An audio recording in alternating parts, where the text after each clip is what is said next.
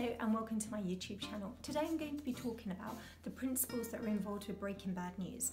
Breaking bad news is a favourite OSCE station. It allows you to show off your communication skills and your consultation skills and as well as that your empathetic skills. So without further ado, let's get started. The mnemonic that I like to use, that I practice as a medical student, as a trainee, and now that I practice as a doctor, is SPIKES. S stands for setting, P stands for perception, I stands for invitation, K stands for knowledge, E stands for emotion, and S stands for strategy and summarising.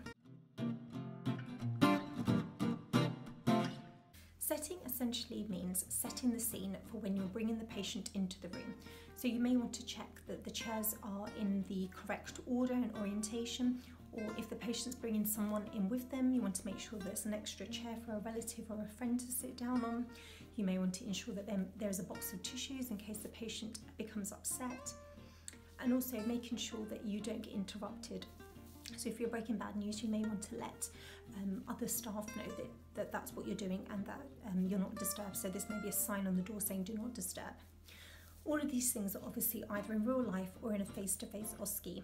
If it's a remote OSCE, then you may want to explain to the examiner that this is what you normally do um, if it wasn't for a, a remote consultation. P is for perception. So don't forget to introduce yourself and also you really want to get an idea of the patient's perceptions of why they are there. So it might be, for instance, if the if you're explaining the chest X-ray to a patient, you may ask them, Mrs Smith, I'm, I understand that you're here for me to explain your chest X-ray, but please can you give me um, an idea as to why you had the chest X-ray done in the first place? Or it may be bloods. Mr. Smith, I've got your blood test results here, but please can you give me an idea as to why the blood tests were done? What this does is A, it allows the patient to explore the journey and to make connections in their head. It's important that we allow the patient to talk and to put all the all the bits together of you know why they went to see their GP. You know, doctor, I was worried that I you know I was worried about my weight loss. I was worried about my persistent cough, so I went to see my GP who arranged a chest X-ray. They the patient may even give an idea as to what the GP was worried about. Again, all of this really allows the patient to put the story together and to make links themselves so that when you break the bad news, it's not this massive shock horror. They've already kind of put the story together themselves. It also importantly builds rapport. If you allow the patient to talk, express what their ideas were, express what their concerns were, it shows that you are um, a, a great doctor that's got that sort of empathetic skills and also you want to get your patient's side of the story. eyes for invitation. So what this means is that you want to get an idea as to how much information the patient wants. So the patient may just want to have a little bit of, uh, of information or they may want to know the whole situation. Patients are very different. Some are very doctor-centered. So what I mean by that is, doctor, I trust you. Um, tell me what's on the chest X-ray and tell me what the next stage is. And they don't really want the bit in, in the middle whereas other patients want to know every single bit of detail. So before you um, ramble on with all the information, get an idea as to how much they want to know um, because everyone varies. Knowledge. So this is where you actually impart the breaking bad news. You may want to start off with what we call a warning shot. So what this is, is something along the lines of, okay, Mr. Smith, I've got your chest x-ray results here.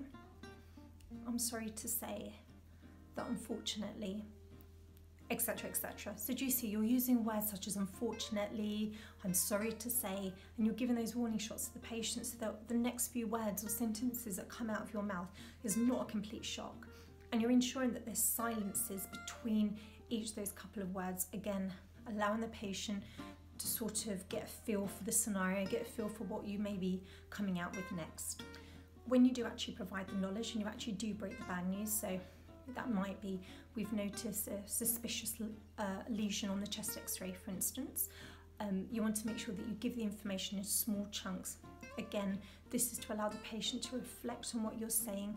It also gives them an opportunity to absorb um, what's been said and also for them to say, oh doctor, do you mind just repeating the previous sentence? And the patient at this point is going to be bombarded with so many thoughts in their head. So give small chunks, allow them to absorb it, um, and also to ask any questions at that point. Really important you also avoid any medical jargon avoid using medical terminology to try and make it as um, as sort of simple as possible for them to absorb. And this is why perception is really important because if the patient in, in the perce perception aspect of Breaking Bad News has used words such as cancer, then you may then be more likely to use that word. Um, and rather than sort of beating around the bush, you, you may want to be a bit more direct if that's what they're worried about when they went to see their GP. Emotions. This is a very emotional OSCE station, so there's going to be emotion, whether that's a patient crying, a patient getting upset, in denial. You really want to, as the doctor, be aware of those emotions and reflect those emotions back to the patient.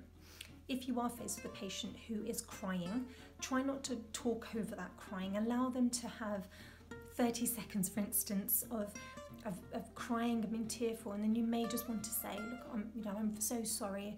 Um, I'm sorry that I've had to give you this bad news. I can see you're so upset. You need to be as human as possible. You would say the same things to a friend if you'd told a friend bad news. You would use the same empathetic skills. Nothing is different in the OSCE station.